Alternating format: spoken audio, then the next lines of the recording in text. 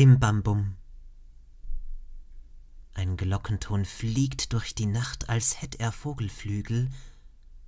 Er fliegt in römischer Kirchentracht wohl über Tal und Hügel. Er sucht die Glockentönin Bim, die ihm vorausgeflogen. Das heißt, die Sache ist sehr schlimm. Sie hat ihn nämlich betrogen. Oh, komm, so ruft er. Komm, dein Bamm erwartet dich voll Schmerzen. Komm wieder, Bim, geliebtes Lamm. Dein Bamm liebt dich von Herzen.